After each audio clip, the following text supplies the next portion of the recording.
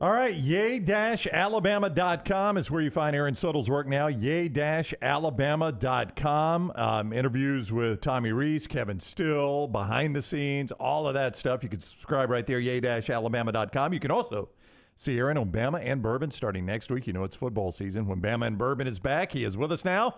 What is up, Aaron Suttles? How are you today? Hey, fellas, how are you? Doing awesome. Um, so obviously you got a lot of people that are in these scrimmages, so a lot of word leaks out. Um, it- to what degree of confidence do you feel like you could identify who the starting quarterback would be week one? Starting as in who takes the first snap of the first series, I feel pretty good. Um, I'd be surprised if it's not Jalen Milrow. Um, I don't think there's any separation among the quarterbacks, or at least the, the quarterbacks that we've heard the most of through through fall practice. I just I don't know. Nick Saban said last week, I believe, was when talking about the quarterback situation was placed so well that you don't leave us a choice, right? Th- that hasn't happened yet. And, and so I don't. I think there's very little separation. I think there will be technically a starter against Middle Tennessee State, but I don't know that we'll know who the real starter of this football team is. Maybe a few until a few weeks in. Yeah, I was going to ask you, and I mean, I, I'm kind of with you. I think Milrow takes the first snaps. I said that earlier in the show, but I kind of get a feeling that somebody else might take the first snaps against Texas. Could you see that scenario? Yeah, I mean, ab- absolutely. And why not use Middle Tennessee State? Listen, with all due respect to, to Middle Tennessee State, Nick Saban's not listening. We we can talk this way. It doesn't matter who plays quarterback. And so, why not play as many as you can? Make Texas prepare and use as much time of, of their practice week the next week, uh, not knowing which quarterback they're going to get. So, um, yeah, I, I tend to think that. You know, listen, I, I just the quarterback situation is what it is. It's not ideal after Alabama having had several seasons of elite quarterback play. Um, this is not going to be that type of team where the quarterback's going to lead this offense in terms of its identity. We've, we've talked about that since the spring. That, that hasn't changed a bit. Um, they just need somebody who's going to keep them in good plays, stop turning the football over, um, don't take sacks, and, and really play to this strength, uh, this team's strength rather. Um, one of those strengths you've told me all summer long is the offensive line. A little more shuffling for this scrimmage, and you've told me Proctor would eventually find his way uh, into contributing. Has he? Has he found his place on that offensive line now? Yeah, I mean, based on on the reps that we all heard about and, and some people saw on Saturday, he was with the ones at left tackle, and there was some shuffling. Tyler Booker was at left guard, uh, which means if if I you ask my read of the situation, that means they're they're looking to give Kadyn a little little help over there in, in pass protection is, is what I guess that would be about because uh, that's that's a little late in fall practice to be making that move, but um, I think they feel really good about where this line is in terms of run blocking, which is what the identity of this offense. And so running the football should be a strength of this team, and if it's not, then this offense is in for real trouble this year. Yeah. If they cannot run the ball consistently, if it's not markedly better than it's been the last couple of years, especially in in short yardage situations, and off this offense is in trouble. But I think they feel pretty good about where, where this where this group is run blocking. I think pass protection. Anytime that you have a, a, a true freshman at left tackle or any of your tackle spots, it's going to be a work in progress. But he's an elite talent, and so I would I would sort of read into Tyler Booker playing left guard.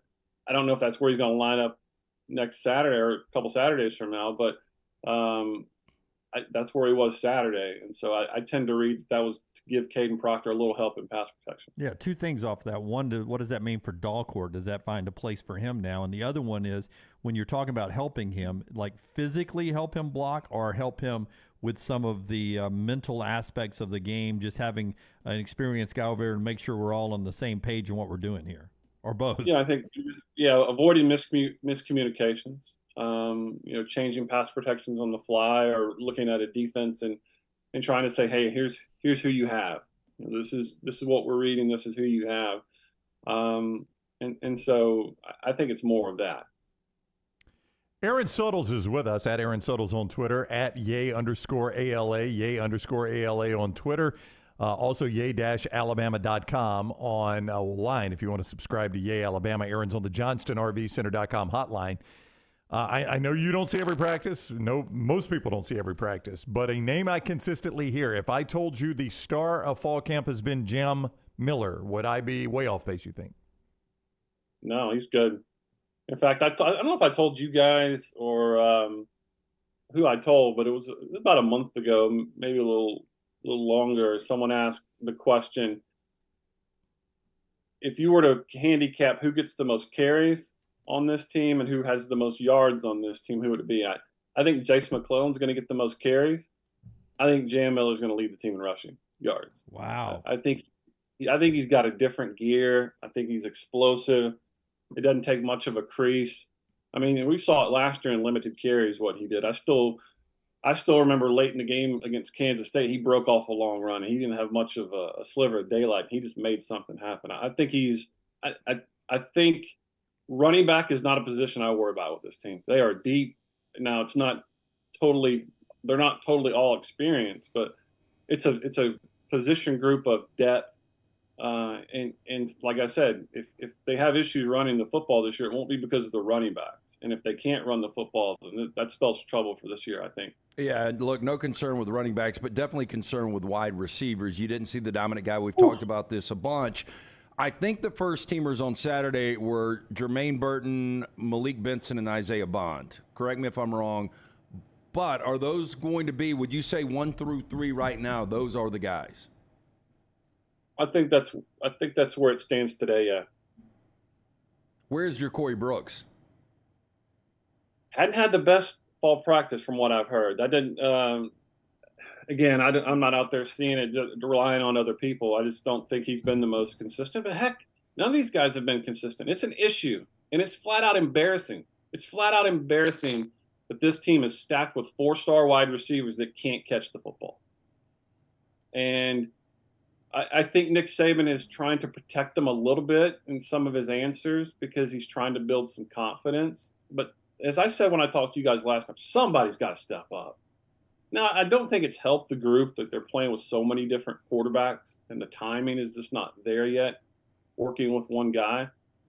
But there's enough talent that this this many drops for the second year in a row should not be happening. And it doesn't mean it's going to continue.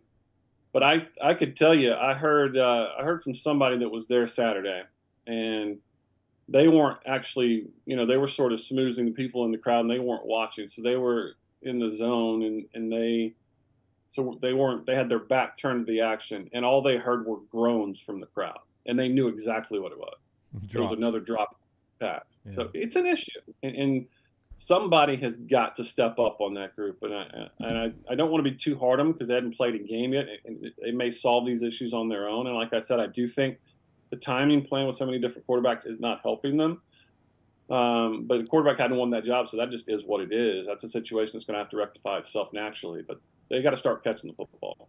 You know, uh, one thing I got from somebody who was watching texted me and said um, that this team uh, looks a little more physical than the last couple of years, and I think some of that can go to the offensive line. Nobody's going to push this team around. Was the text I got?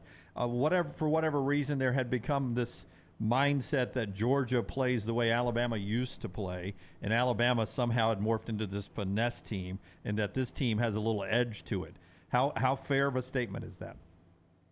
I think it starts with the offensive line. I think it starts with the defensive line. From what I heard, the defensive line did a really good job against the run on Saturday, which is a which is a good sign. I'm I'm hearing Tim Keenan, kid from there in Birmingham, I believe, is is really um, really standing out this fall practice. We know what um, we know what um, big Otis is about. We got Justin Eboigbe, so they got some guys on the defensive line too. I, I think the physicality of this team um, is going to be the, the the hallmark of it on both sides of the football, and and because of that, I think I think they're going to be in a uh, you know I think they're going to be in a lot of competitive games, especially late. Where as I mentioned the past few years, even though they've been successful as an offense by pretty much any metric because they scored a lot of points, there were certain times. I think it was Texas A&M last year. They couldn't put the game away because they couldn't pick up a first down on on short. I don't think that will be an issue this year. I really don't. Um, now that doesn't mean they're going to have a hundred percent success rate on those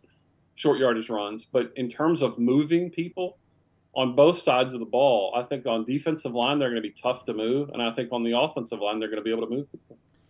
Would you, uh, Aaron Suttles is with us from Yea, Alabama. Would you project, just based on what you know, Caleb Downs as a starter in that secondary against Middle Tennessee?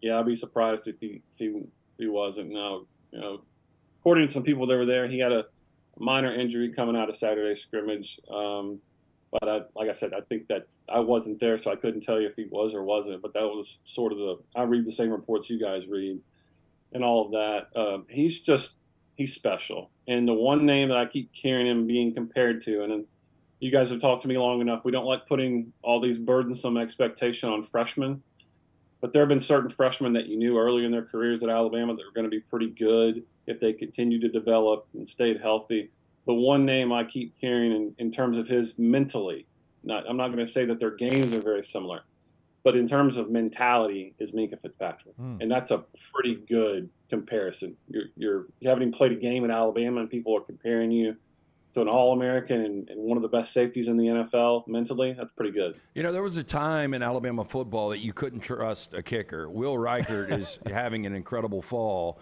he seems nearly automatic right now. But wanted to ask you the other side of that. People are talking about James Burnip looks like he has really yeah. improved. He has, you know, the, the the Aussie went to Outback Steakhouse for the first time a couple weeks ago, and so uh, he got to experience the Bloomin' Onion and all the uh, the great eateries there. Now he he's, was it really um, his first time at Outback? It really was. Yeah, I've talked to him about it. so, do they have Outbacks in Australia? Oddly enough, I bet they don't. I, I, don't think they do. It's always the it's like the Americanized version, right? Yeah. Um, so no, he he's been pretty good. I, I think he's more I think he's more uh, comfortable, and that comfortability because they got all they got all the he's got the same snapper, you know. He's the holder for Will Reichard too.